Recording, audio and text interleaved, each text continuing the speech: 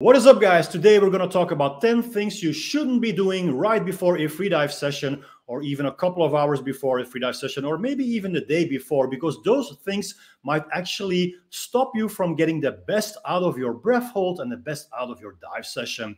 Number one, eating a heavy meal. Well, why wouldn't you be eating? Why is it a good idea not to eat before a free dive session? Because your digestive system requires a lot of blood flow. So all this blood flow that is going to your digestive system to digest all your foods, to process all these foods, could go to your vital organs like your brain and your heart, which makes you hold your breath longer. So if you hold your breath in a fast state, it's easier to hold your breath.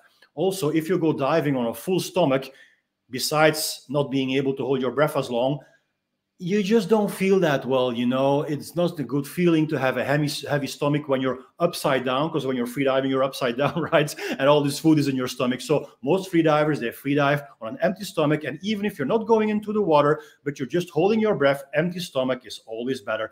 And if you can't really feel well on an empty stomach you might eat a little bit but for sure not a heavy meal Number two, drinking alcohol. You don't want to drink alcohol the night before and certainly not right before your dive session because alcohol, well, it troubles your minds and it impairs your vision. Literally, um, you cannot assess a dive as good as when you are sober. So you might be over uh, ambitious when you are a little bit drunk. And apart from the um, mental aspects, it's just that your body is processing all this alcohol. And once again, you want your metabolism to be as slow as possible. So don't eat food and don't drink alcohol or even just juices, anything that makes your body process nutrition. You want to avoid as much as possible. Also, when you are intoxicated or just a little bit of alcohol, the way your body deals with oxygen is very different. So you might not be able to assess a dive as good as when you are sober. You might just react differently when you have been drinking a little bit. So don't do that. Number three, intense physical workout. When you have been going to the gym the day before or even before a session, your body is well processing the whole workout right so when do you grow after a workout is when you recover you do not grow your muscles do not grow when you're lifting the weights you are growing after you lift the weights when you sleep when you recover so this process of recovery requires a lot of energy all that energy could be used for a longer breath hold. So if you are in a state of recovery after a workout, then there's a lot of oxygen and energy that goes to recovering instead of going to holding your breath longer. Basically, you want to do the least amount of activity and eating before um, a dive session.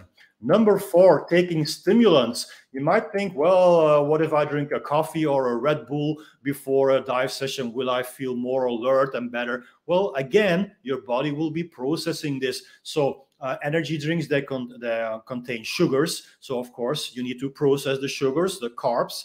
And uh, coffee is caffeine, so then your body will be dealing with the caffeine. All of this results in a higher uh, heart rate, uh, which is the opposite of bradycardia. So in free diving, in breath holding, we want bradycardia. Bradycardia is a lowering of the heartbeat. When you are consuming coffee or energy drinks, your heart rate is going to go up. It's the opposite of what you want.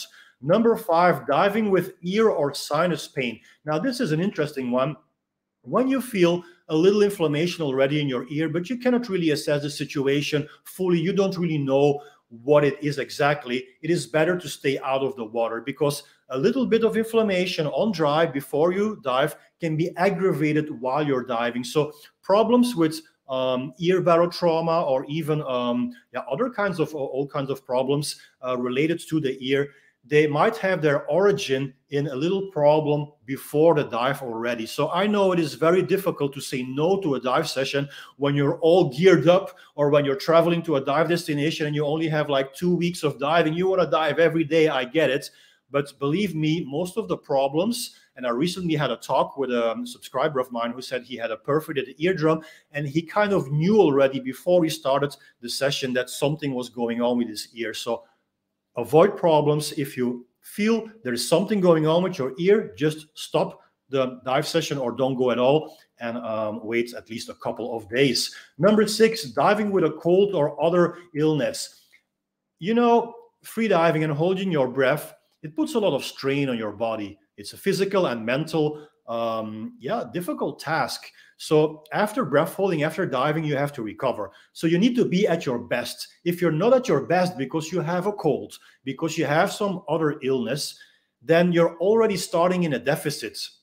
First of all, your body will react differently to a dive. So you don't really know how you're going to react when you're sick. And second, you will have to recover even more. So when you do multiple dive sessions, uh, like, like one day after another, you will get exhausted. You might get even more sick. So when you feel you are sick, just stay out of the water. Once again, I know it is difficult to say no to a session, but on the long term, this will absolutely benefit you. Only go diving when you feel 100% um, uh, fit.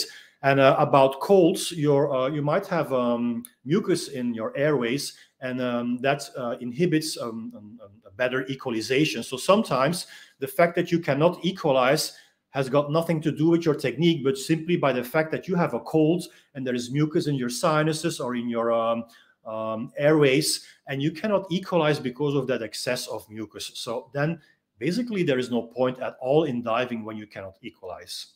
Number seven, being dehydrated. So um, when you go free diving, you will lose a lot of um, liquids. Um, so you need to hydrate yourself. So most free divers they go to an open water session with a bottle of water. It is always good to um, add um, uh, electrolytes to your water. Um, many uh, places they sell uh, bottled water that is already distilled, purified water, which is the opposite of mineral water. So when you drink mineral water, it contains minerals, and your body needs minerals.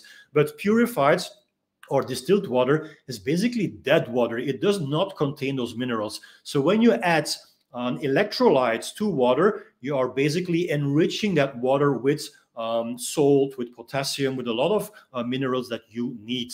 So be sure before you're diving, you drink a lot, and if possible, you take your bottle of water to your um, dive session because if you become dehydrated again, your body will react differently. You will get tired more easily, and then you will react differently to your dives. Number eight, not getting enough sleep if you're tired, you're not in an optimal state, and then you cannot relax as much. So you need to be fit, you need to be relaxed, you need to be 100% well rested. So before a dive session, it is best to sleep uh, eight to nine hours, depending on how much you sleep on a regular basis. But for sure, do not be sleep deprived.